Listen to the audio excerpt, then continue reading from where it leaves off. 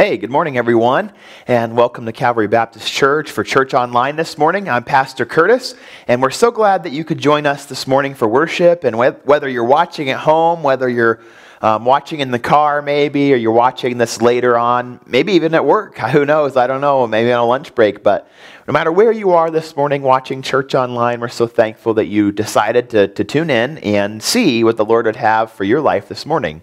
And so I'm going to just give us a few updates from announcements, uh, just so you know some things that are happening. And this Sunday morning, we won't have it on the online service, but Dan and Martha from the Springs Ministries are here giving a camp update at the uh, at Calvary's campus in person. And so I would just continue, just um, note that, and to continue to think about how will um, you be used as we raise money this summer to send kids to camp. And so we're excited to be able to do that again this summer, um, just like normal, and as we are able to. So we'd love to send kids to camp and love for you to be a part of that. I'd encourage you to go check out, if you want to know more about the Springs, go check out their website, and give it a look, and see uh, maybe if you have some grandkids, some nieces and nephews, some family members you would love to see, maybe some neighbor kids that you would love. You know what? I'll just pay for your kids to go to camp this summer. I know how crazy things have been. That they would benefit from that. Something like that. Please check out their website. I do want to mention that Zoom prayer meeting this week will be at Wednesday at 7 p.m., and we, we'd love to see you out for that. I um, this past Wednesday was at a track meet Wednesday at 7 p.m., so I wasn't able to be there, but, but I'm looking forward to this Wednesday at 7 p.m. to be there for that. Next Sunday, April 25th, from 1 to 3 p.m., there is a shower for Natalie Odell here at the church. Um, that's her wedding shower, and please join her for that. Please, um, and if, even if you can't join in for that, check out. She's registered online, I think, at Target and uh, maybe a few other places. Michelle would let you know that if you'd like to buy them a present and uh, send, start their wedding off uh, right. We're going to have an Awana a warning, morning here in church on May 2nd to just celebrate all those Awana kids. And so that's again going to be a, a, part of our service that will be in person. But we'd encourage you, if, if you have Awana kids, maybe to consider attending that service. Um, wear masks, sit in our um, more spaced out area or one of our spaced out pews. But if you have Awana kids who worked hard and have earned those prizes in the past, we'd love to see you there at that. Sunday, May 9th, is Mother's Day, and I just thought I would mention that to you for you fathers out there who might need to do something for Mother's Day, for you kids and family members who might need to think about uh, mom on Mother's Day and get her a present or send her a thank you card in the mail, whatever it might be. But also, um, that Sunday, for Mother's Day, Baccalaureate will be here at the church on Sunday evening on Mother's Day. It's an unfortunate that it falls that day, but that's just how it works in the calendar this year. So, but Baccalaureate will be here celebrating those seniors. If you'd like to take part in that or be here for that, you're welcome to it. And then the last thing, if you have the bulletin there in front of you, the last thing you'll notice is a thank you note from Annalise and I. Um, just from the baby shower this past weekend, we were overwhelmed with the blessing it is to be a part of Calvary Baptist Church. And, and some of you I know who um, sent us presents in the mail, thank you. We really appreciate that. And uh, we're blessed to be a part of this church family. So that kind of does it by way of announcements. Um, you know, we've got an, an, an a quarterly, quarterly meeting coming up in May. We've got a few other things coming up around the corner for church, but that sort of will do it for the announcements, other than to just be thinking about and praying for. I'd encourage you, pray for youth group tonight. We'll have youth group um, Sunday night just like normal, and I'd, I'd love for you to be praying for the teenagers. And then another thing, a big prayer need for our church, and maybe Pastor will mention this in the online service too, but Richard Stafford, as many of you know, passed away on Wednesday of this week, and so um, we're just praying for Carol and the, and the Stafford family in this time. And, and so please join us in that and time, you know, join us in prayer for Carol and the Lord would comfort her heart as, as she's dealing with that loss. And so won't you do that right now? Will you join me in a time of prayer and then we'll, we'll lead that into our, our time of worship this morning. Lord, thank you for this day. I do pray, Lord, there, there are so many needs in our church. You've given us needs to consider. Lord, I pray for Donna Mocklight at home, recovering from her dehydration and, and that spell she had. I, I continue to pray you'd be with her, Lord. Be with Barb Cooper, who's recovering too from a fall, and thank you for keeping her safe. We're praying, Lord, for Mindy's brother in law and um, others in our church family who have been affected and impacted with COVID and, and recovering from that. So I pray, especially though, for Mindy's brother in law who's receiving oxygen and, and needs that recovery.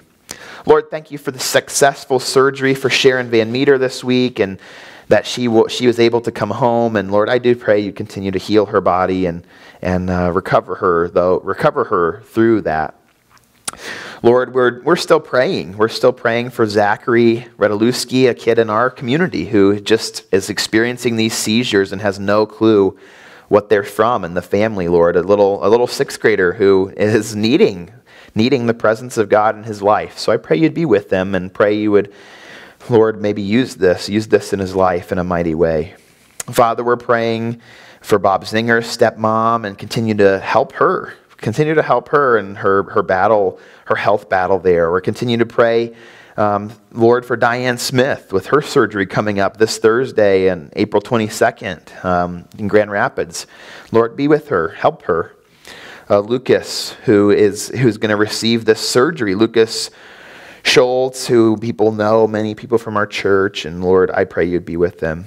Lord, there's other people we, we care about, we think about. Frank Wilkerson, Nick Weatherington, Jane Underhill, uh, John, John and Wendy Patton. Lord, be with all those people.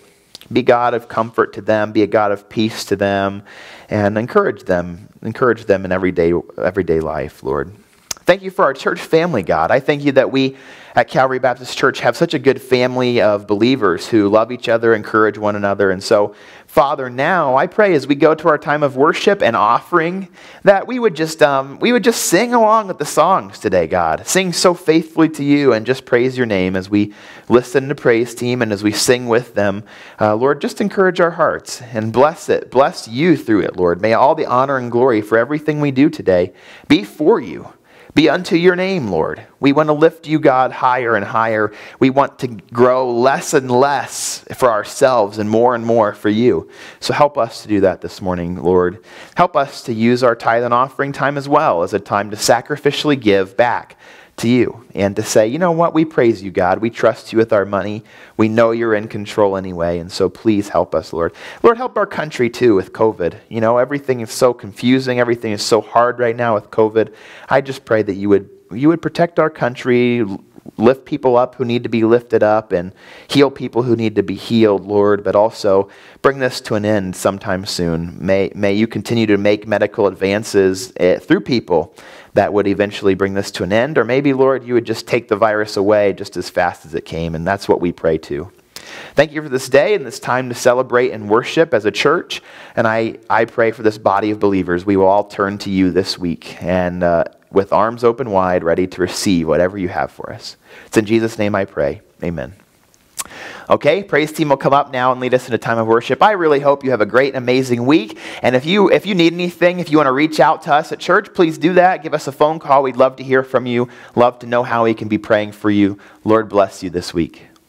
We're glad you're here this morning as we start to worship. We're going to start out with standing on the promise. We're going to be reminded of God's promises. So let's stand as we sing.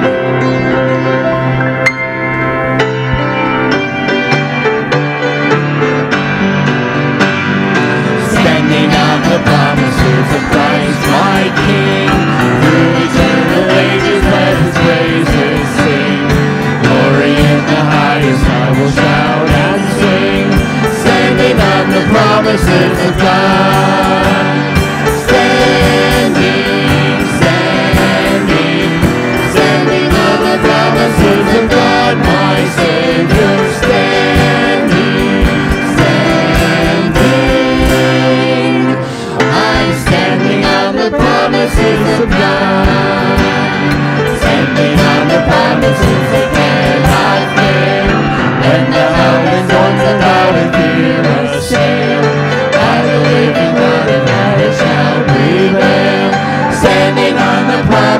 Promises of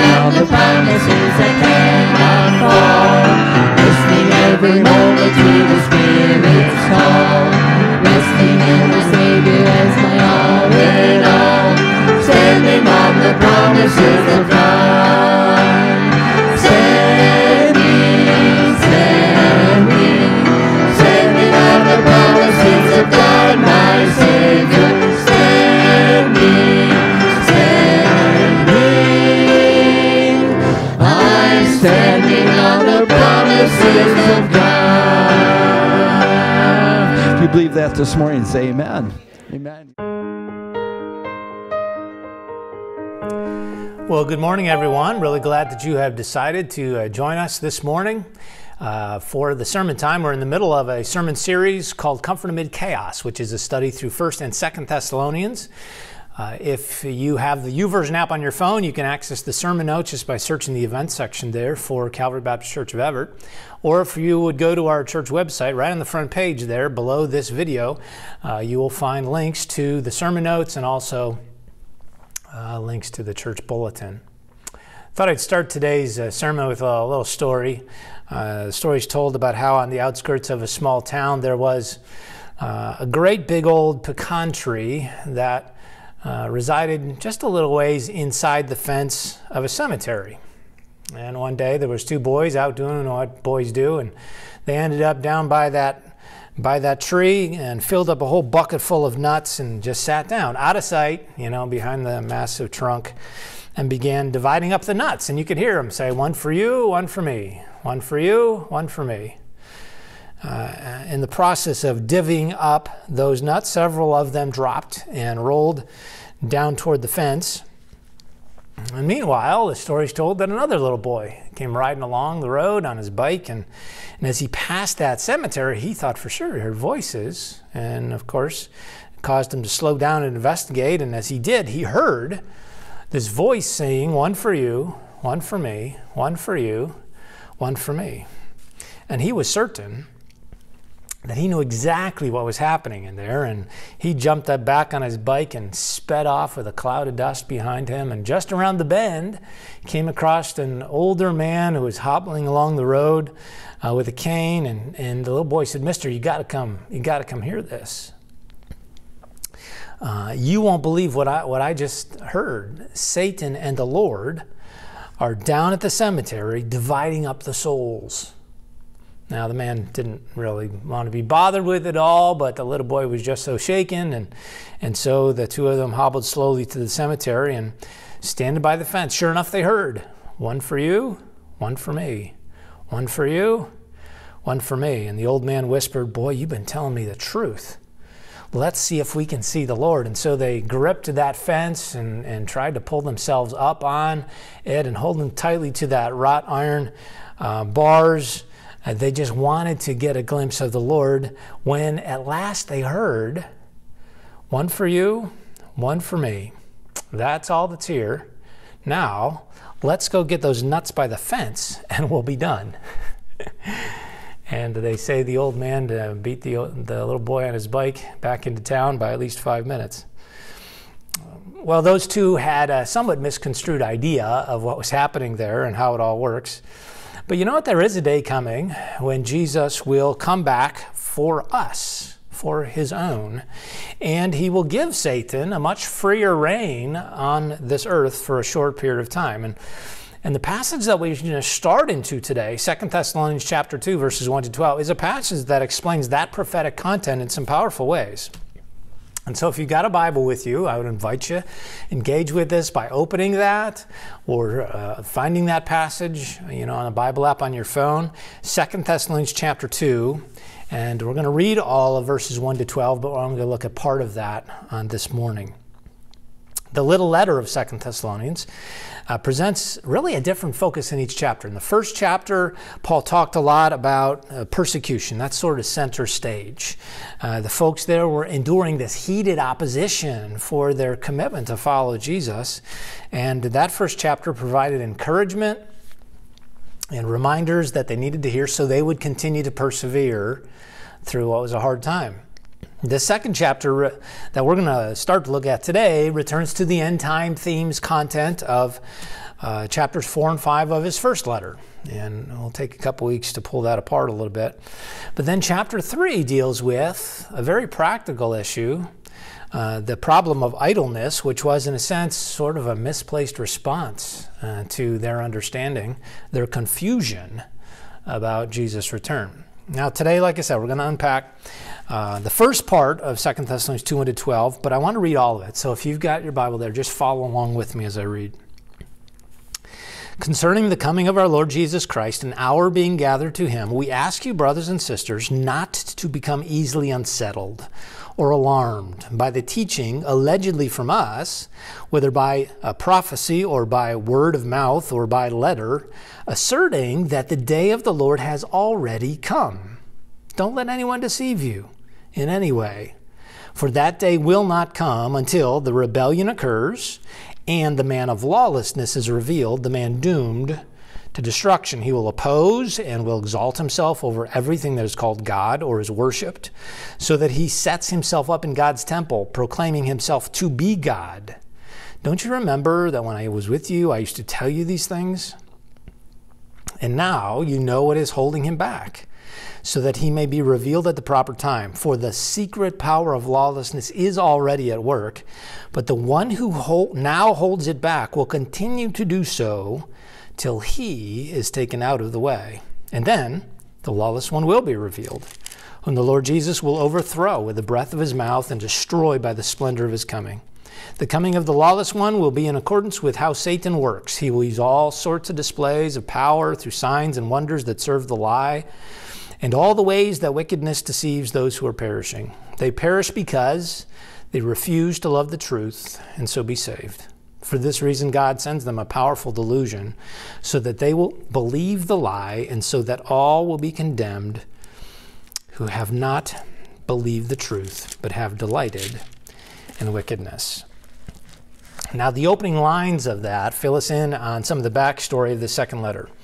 Uh, Paul had sent his first letter to answer precise questions that the folks in Thessalonica had, surfaced when Timothy visited there. But now there's been this interlude, some time has passed, and word gets back that either an impostor had sent a fake letter alleging to be from Paul, or someone had given the church some faulty information saying, you know, we heard Paul said that the day of the Lord is already here. And Paul says, no, no, that's not the case at all. Now, I've got to backtrack a little bit uh, to um, what we talked about when we were covering this in, in 1 Thessalonians chapter 5, just so we're all on the same page. The day of the Lord is an Old Testament term uh, for a future period of time that will involve God's judgment and God's blessing. It's uh, mentioned by prophets like Joel and Zephaniah and Isaiah extensively. And so it references this future time when God will judge the nations of the earth and will draw Israel back to himself. Um, because many of the national promises to Israel remain unfulfilled. God never makes a promise that he does not keep. And so every one of those promises God is going to fulfill in exact detail during this period of time called the day of the Lord.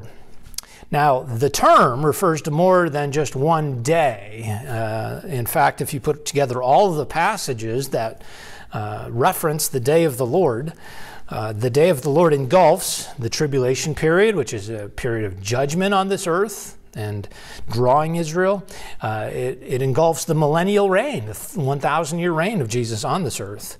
And it even includes the final judgments and the concluding of that time, uh, which involves the remaking of it all with a new heavens and a new earth. All of that is attached in different places in Scripture. Uh, to the day of the Lord. And so it all fits under that same term. But you'll notice where it all started. It all starts right after the end of the church age, which is concluded at the rapture, when Jesus returns and catches us all away. And so you notice Paul says, Don't be alarmed. Don't be alarmed. Despite what you may have heard, we are not in the day of the Lord. And then the next few verses, he's going to explain why. Part of the answer involves what he extensively talks about there of the. Uh, uh, the Antichrist, and we're going to focus more on that next week. And so make sure you come back next week for that. But the other part of the answer is what I want to really think about today, and it's more obvious. Uh, it is that the catching away of the church happens first, and that hasn't happened yet. And so we're not in the day of the Lord. I put the title on today's sermon, What's Up Next? Because what is up next in God's prophetic calendar is the rapture of the church. Here's the first thing if you got those sermon notes to fill in the blanks the rapture hadn't occurred then, and it hasn't occurred still. Uh, I want you to go back to the very first verse here because I believe what Paul describes in the first verse is the same thing that he described in 1 Thessalonians 4. He says they're concerning the coming of our Lord Jesus Christ and our, notice he includes himself in that, our being gathered to him.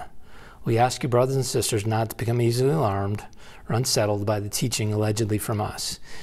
The coming of our Lord Jesus Christ and our being gathered to him is a description of the rapture. Now let me go back to 1 Thessalonians 4. I'll put the verses on the screen here so you don't even have to turn there. It says in 1 Thessalonians 4, verses 16 down to 18, For the Lord himself will come down from heaven with a loud command, with the voice of the archangel, with the trumpet call of God, and the dead in Christ will rise first. After that, we who are still alive and are left will be caught up together with them in the clouds to meet the Lord in the air and so we will be with the Lord forever. Therefore, encourage one another with these words. Now, both in his first letter in 1 Thessalonians 4 and right here in 2 Thessalonians 2 and verse 1, Paul expected to be part of it. He expected to be part of that catching up of all believers in Jesus. And so, one thing that that reveals, since Paul, under the inspiration of God, twice now has written that he expected to be part of this, one thing that reveals is that there is nothing that needed to happen before that could happen then. And so, clearly, there is still nothing that needs to happen before it could happen in our time. You know, if that was true 20 years after Jesus returned, then it is still true, true today. Now, the phrase in 1 Thessalonians 4 that is translated caught up is where we get the theological label rapture from, because that's the Latin translation of that, that Greek phrase. And it is the next event in God's prophetic calendar when Jesus will step down into the clouds. All true believers in Jesus will be caught away. And millions, millions of genuine believers in Christ will disappear in an instant, and the world will change. The world will change in ways more radical than it has ever changed before. Now, obviously, Paul knew that had not happened yet. It hadn't happened because he was still there and they were still there. And so, why is the confusion here? Well, they, they had obviously forgotten a little bit of that truth.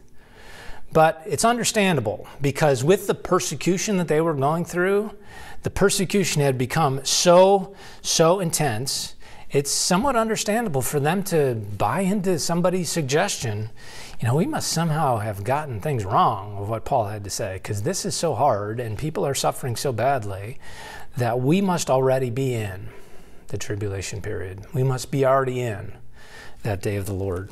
And you know this when, when things get hard, when stress mounts, it does stuff to you. This past Monday, I was down at the doctor for my annual checkup and we talked about a lot of things. But something that he said I found very interesting.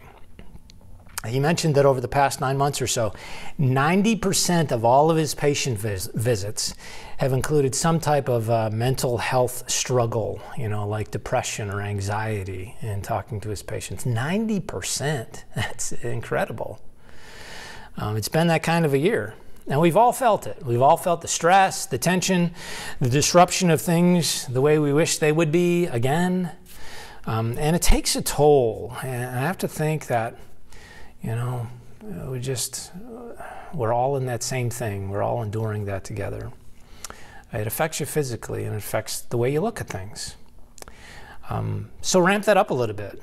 Imagine uh, enduring the threat of your very life, your livelihood, your existence, even, just because you're a follower of Jesus. That had to take a toll. That had to take a toll. And that's what they, these folks were enduring. And it is also what some people around the globe today still endure. Uh, this past week, I read some statistics uh, published by Open Doors Ministry, who tracks persecution of the church around the globe. And uh, in, the, in the last year, in 2020, uh, over 340 million Christians live in places where they experience high levels of persecution and discrimination. And their definition is, you know, much more severe than what we, we might think uh, about well you know I was picked on because I was a Christian. That's not that's not it. And, and if you do the math, that calculates to one in eight Christians worldwide live under the threat of persecution today. Uh, last year, 4,761 Christians were killed, martyred for their faith. 4,488 churches and church buildings were attacked. 4,277 believers were detained without trial, arrested, sentenced, or imprisoned. That's happening in our world right now. And it was happening in the first century. And so it's, it's just not so surprising that these, these folks, they felt it so heavily, they started to question, they started to be confused, they quickly grab a false narrative. Well, maybe this is the tribulation, you know? Um, we must already be in the day of the Lord. And Paul writes to say, no, no. Um, uh, the rapture didn't happen yet, and so we can't be in the day of the Lord. Jesus will gather us away, catch us away. But there's one other reason why, and I worded it secondly because the initial events of the day of the Lord will be unmistakable. The initial events of the day of the Lord will be unmistakable. Now, you go to verse 3. He says, Don't let anyone deceive you in any way, for that day will not come until the rebellion occurs and the man of lawlessness is revealed, the man doomed to destruction. Now, I'm, I am going to do a little cherry picking this morning. Uh, I'm skipping over some details about this man of lawlessness because that's what next Sunday's sermon is going to be all about. So you want to come back and watch that then. But Paul starts out verse 3 by saying, Do not let anyone deceive you. Because the day of the Lord starts right at the, right at the front edge of the day of the Lord.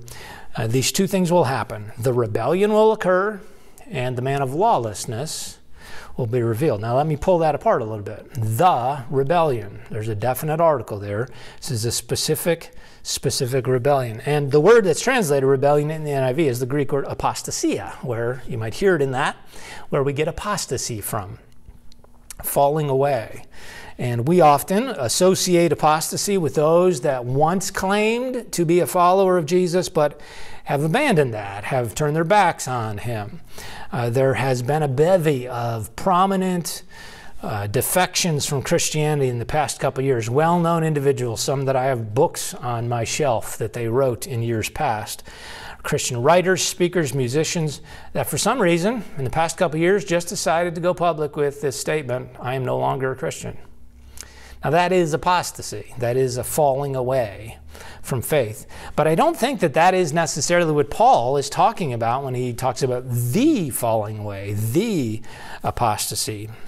Um, if we understand in the timeline of when this is unfolding, it's not too hard to uh, imagine uh, what he's describing there as a very specific apostasy, a very specific rebellion against God, a very specific falling away. Uh, around the world today, and around the world on the day before the rapture, there will be millions of people that call themselves Christians. Millions. Uh, many of those, I hope, uh, are authentic believers who have put their faith in Jesus alone, have a personal relationship with God that is genuine and that is real. Um, but that description does not accurately attach uh, to, to everyone um, who goes to church, who says they're a Christian, uh, or uh, uses that label. There is, and I want you to hear this, there is such a thing as a genuine believer in Jesus and a non genuine believer in Jesus. Um, at the rapture of the church, that will be clarified as to who is who like no other time in all of, all of human history. Uh, every genuine believer will be caught away, will be taken up to meet the Lord in the air. And every non genuine believer will be left here. There will be no hiding it. There will be no going through motions at that point. And as Paul describes it here, I believe, the rebellion, the apostasy, the ultimate falling away describes what happens right at that point to those individuals left behind. Um, the day before, they would say they were Christians, I go to such and such a church, and all of that. But then everything changed. Everything changed. And there will, no doubt, be some, because the Bible describes that there will be those that will come to Christ, put their faith in the gospel, the message of Jesus during the tribulation period. No doubt there will be some that realize they're wrong and literally, finally turn to Jesus and put their faith in Him. in an authentic way. But many, probably most, uh, will turn away, will abandon that previous identity, uh, will rebel against God as they begin to experience the chaos of what the world is going through during those years. It will happen on such a large and worldwide scale that describing it as the rebellion, the falling away, is very fitting. And I think that's what Paul's talking about. Right after the rapture, all those that are still here that would have the day before called themselves Christians, they just turn away from it all. They turn away from Jesus. It is the the rebellion. But then there's the second part of it. He says the rebellion will occur and the man of lawlessness will be revealed. Now, the man of lawlessness is the term Paul uses to describe the exact same person that Daniel calls the, the little horn in some of his prophecy about the end times. John titles him the Antichrist. And Jesus referred to him as the beast in the book of Revelation. He will be a one world ruler inspired by Satan who will capitalize on the chaos of that time and set himself up as both a ruler for the world to follow and also a God for the world to worship. His fate is sealed already because the last part of the verse 3 that I read there it says he is doomed to destruction and Interesting side note there's only one other person that's described that way, and that was Judas Iscariot, who betrayed Jesus himself, doomed to destruction. But we're going to come back next week, like I said, and look at the uh, description of this man of lawlessness. But Paul wanted them to know hey, this sequence happens right away at the start of the day of the Lord. The rapture is followed by the rebellion against God uh, those that claim to follow God are, are going to turn away. They were just going through the motions before, it wasn't real for them. And now, with all that's changed, they're just going to walk away. And the man of lawlessness will be, will be revealed, will rise to power in a very brief, very brief time. Now, those are the first two phrases, but I cap them off with this last one, and this is where I want you to really think uh, closer. Uh, this last line I put on here is this both of those happen because the restraining influence has been taken away. If you go to verse 5, he says this Don't you remember that when I was with you, I used to tell you these things? And now you know that what is holding him back, referring to that man of lawlessness, uh, so that he may be revealed at the proper time. It's all, it's all in God's plan. Verse 7 For the secret power of lawlessness is already at work. But the one who now holds it back will continue to do so till he is taken out of the way. And then the lawless one will be revealed. So, what does Paul say there? Well, first of all, he says the power of lawlessness, which is Satan himself, and that's going to come up a little bit later in this section. Uh, Satan is already at work in this world. Uh, the power behind the man of lawlessness is rampant in our culture, our world already, and we all knew that. Uh, just look around at the evil in our in our day. But there is one who holds it back, uh, who restrains it, and he will keep doing that until he is taken out of the way. My daughter and her husband have three dogs. Um, this is a picture of Amanda with their latest addition. Uh, her name is Hazel. But these other two guys have been around a little longer. That is Avery and Harris. They like H names because uh, the cat's name is Harper. So it kind of goes all together. But with those three dogs roaming free in the house, there is no need at all for them to have any type of a security system. It's just uh, really not necessary at all. But they do have a camera. They have a camera that's set up different parts of the house uh, for a different reason, and that reason is to check on the dogs and what the dogs are doing uh, when they are away. It's kind of funny when they're up at our house. Uh, they'll open up their phone and log into their the cameras there to see what the dogs are doing when they think they can get away with it, right? You know, they're up on the furniture, they're tearing things up, they're chewing on things, and they think they can get away with it because mom and dad are not here to stop us uh, from doing that. But they're not getting away with it. They're not getting away with anything. All he's got to, Adam's got to do is scroll back on the on the recording, and he can see who did what and when they did it. Uh, Amanda and Adam can see them, and it is rather humorous. Sometimes they talk to the dogs over the camera. That there's a speaker attached to the camera, and that kind of freaks them out a little bit at all. But the, the presence of their owners deters their behavior. Uh, the behavior they try to get away with and when those owners are not around. And if you've got a pet, you've had this, you know all about how that works. Um, now, it might not seem this way, but right now, Satan is being deterred. He's being restrained. He's being held back from doing all that he wants to do. Um, the evil that he wants to promote in this world, the chaos he would like to see happening, um, it's all being held in check. And like I said, it may not feel like it, but it is. Uh, and yet, one day, one day that is going to change. These verses make it very clear. Uh, while there have been various opinions on what that restraining force is, who that restraining force is, I think there is only one possible answer. And I'm just going to point this out to you. Um, the present ministry of the Holy Spirit is the only power that is holding Satan back. Verse 7 says that there is uh, one person who is holding Satan's spread of lawlessness in this world, and once he is removed, then the lawless one will be revealed. And there is only one person with the power to limit Satan's work, and that is God Himself.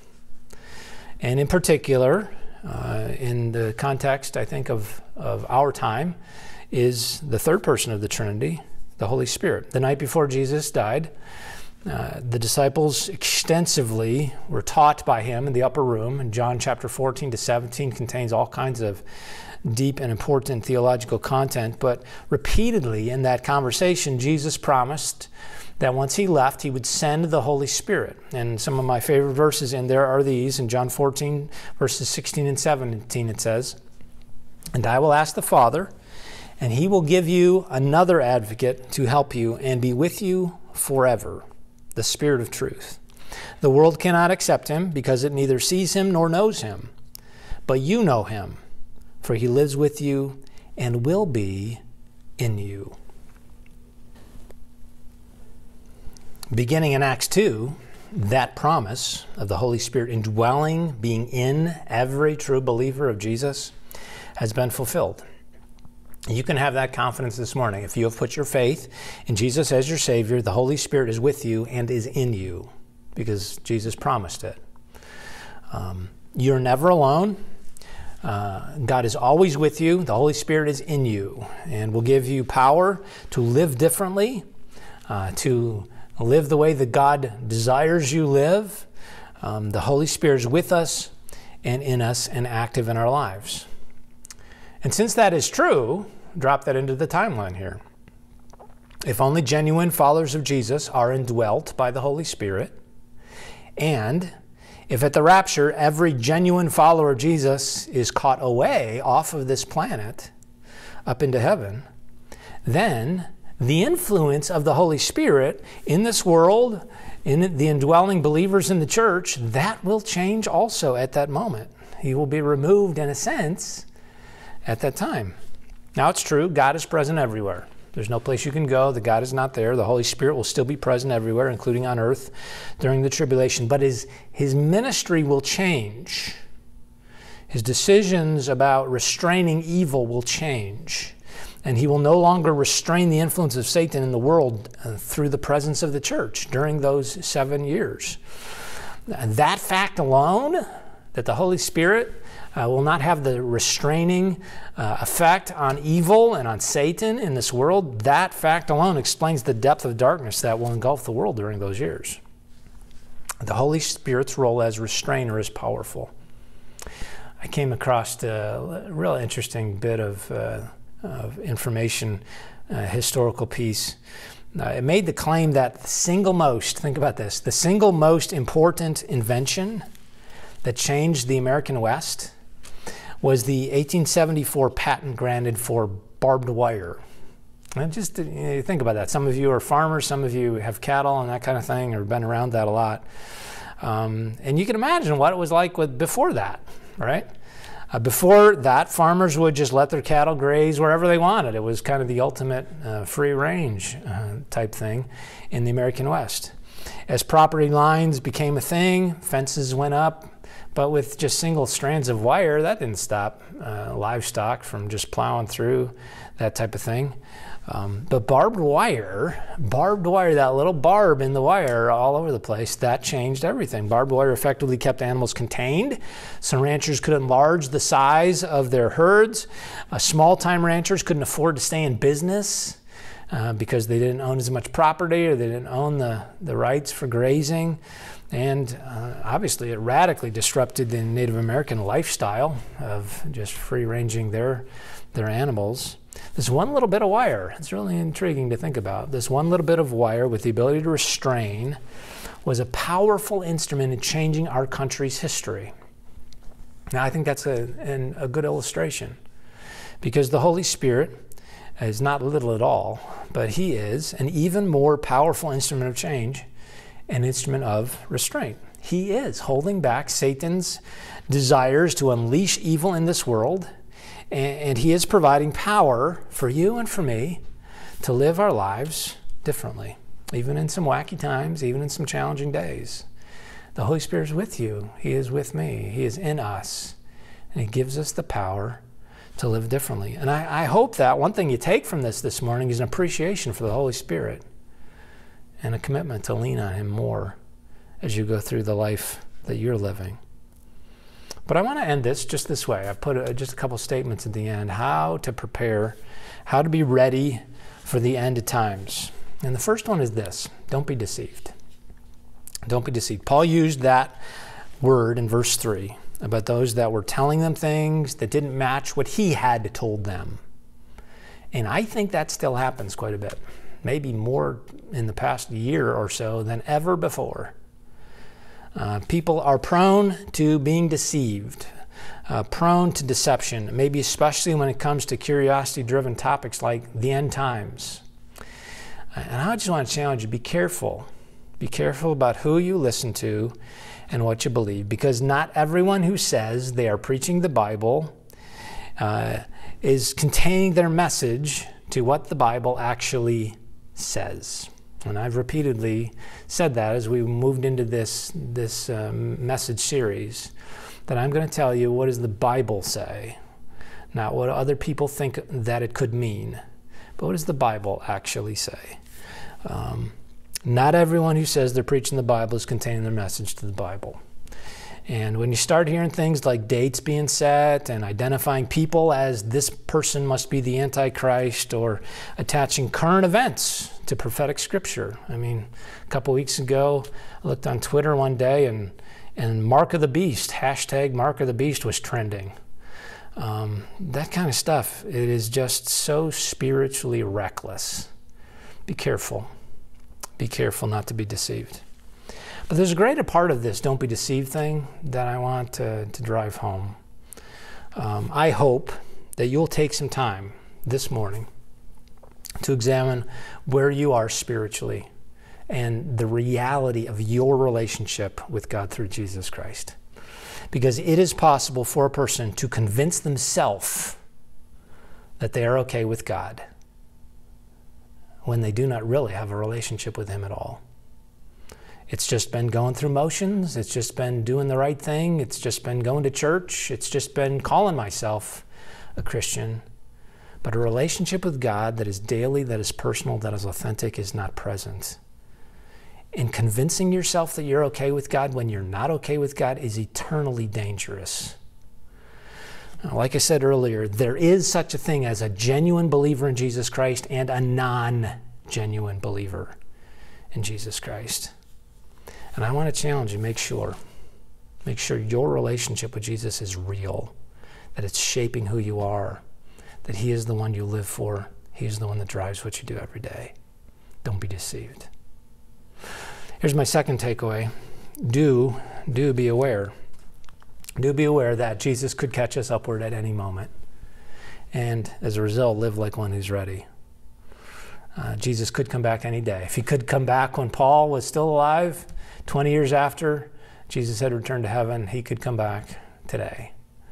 Be aware of that and live so you're ready and live with a balance. Um, I'm reading a book by Barnabas Piper's, one of the sons of uh, John Piper, and uh, Barnabas made this statement. I'll share it with you as we close. He said, As Christians, we should always have an eye to the future, to the coming of Jesus. We should rest in the assurance that someday all this trouble we were promised and are experiencing will be wiped away. We should remember that this light momentary, uh, momentary affliction is preparing for us an eternal weight of glory beyond all comparison, and that's straight from 2 Corinthians 4 and verse 17. But our future hope does not entail a mere act of waiting and pining. Yes, we yearn and ache for our true home with Christ, and when life is at its worst, our ache is the deepest. But we also live now and live fully because our assurance for the future is anchored in the past. We know that Jesus will come again because he already won the battle over sin and death on the first Good Friday and Easter Sunday. We live between Christ's first coming and his final coming. And this means we have the hope we need to truly live even while we wait. I think that gives a good balance on which to close today. Have an eye to the future. Jesus is coming back, and that could happen very soon. But live life to the fullest right now.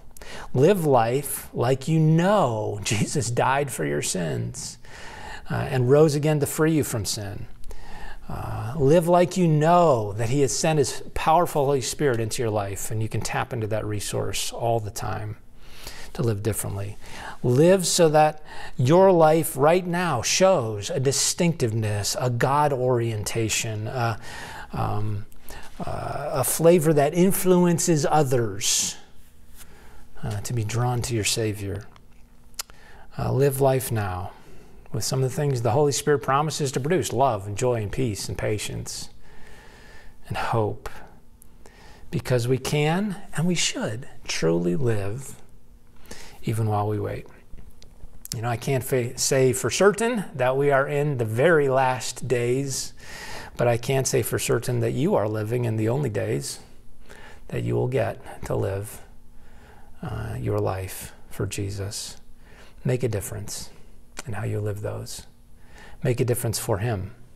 Live in light of the future when you'll see Jesus face to face by living right now in a way that will bring a smile.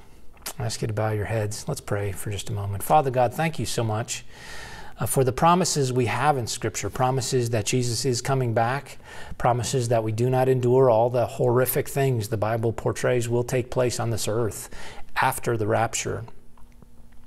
Help us to have our, our, our confidence anchored in the right things, uh, not just in you know what we hear in our world or uh, things that are present in our culture, but help us to anchor our confidence uh, in our relationship with you and in the truth you've revealed in your book. And Lord, I pray that this would help us this morning uh, to understand clearly what you've said and to limit what we what we let ourselves get convinced about to that and that alone. Your word is truth, and I'm thankful for it. But Lord, one of the truths that have surfaced from this this morning is that it's possible. It's even more than possible. That someone watching this this morning might call themselves a Christian, might wear that label, might say, Yeah, I go to Calvary Baptist Church of Everett, and yet not really have an authentic relationship with you because they are trusting in Jesus alone for salvation and they are walking with Jesus every single day uh, and learning more and growing more as a disciple who worships, links, learns, and serves. And so, Lord, I pray that today might be a dividing line of, of, of examining that. And if there needs to be a step uh, away from a non genuine perspective to authentic faith in Jesus, I pray that would happen. Today would be the day that that issue would be settled in hearts. Guide us, Lord. Help us live in the wacky world we live under the power of your Holy Spirit, but live in a way that shows that we know we know who the end of the story we know the savior who is rescuing us from it all.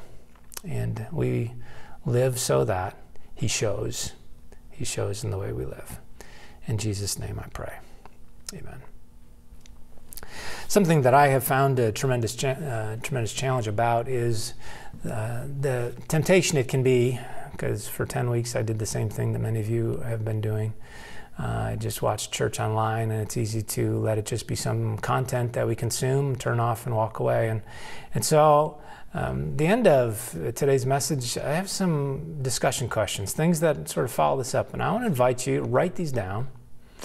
Uh, think about them. Maybe talk with them uh, with uh, somebody around you uh, that you're watching this with this morning. So here's three of, three of those uh, discussion questions. First one is this. You know, ask that question: What what's happened in this past year that has made people, you know, not necessarily you, but just think about people in general. What's happened in this past year that made people think a lot more about Jesus' return? Why is that such a big thing? Um, it's worth uh, examining. And sort of as a follow up to that, you know, what stresses have you gone through that have really ramped up the pressure and how are you handling that? This has been such a crazy past year. And uh, it does. It does put people in a mind to think about the Lord Jesus coming back. Why is that? Uh, it might be something to, to tear apart in your mind. Here's the second one Are there things that you've heard about Jesus' return or about the end times that have been connected by others to current events. And it just kind of makes you wonder if you're watching this with somebody else, bring it up. You know, hey, I heard this. I talked about that. I heard this person talk about that. Um, and I would invite you, I would encourage you actually, uh, because I don't always know, I don't ever know who's actually watching this. Uh, drop me an email and say, hey, Pastor, I heard this. Um, and if you've got a question, you can ask me that too. Is that really the case? Is that really something that I should that uh, could be true uh, about the end times. And here's the third one What significance does it have for your life tomorrow that the Holy Spirit is present and with you? What significance? How will your life be different because of the Holy Spirit tomorrow? If you're a genuine believer in Jesus, you have the Holy Spirit. Um, and He wants to, to fill you, control you, and direct you. How will that change you tomorrow? Um, maybe talk about that with somebody watching alongside you there. But I want you to close. I want you to close in prayer. And so just bow your heads and talk to God a minute, but close by asking the Holy Spirit to guide you this week. Like usual, we're going to throw up some uh, announcement slides here at the end. And so I hope that you'll watch through those and, and uh, participate in anything that you can. If you live nearby Everett, within driving distance, we invite you to join us. Uh, we have an in-person service at 1045 every Sunday morning. We'd love for you to be a part of it. But have a great week, and thanks again for joining us for Calvary's Church Online.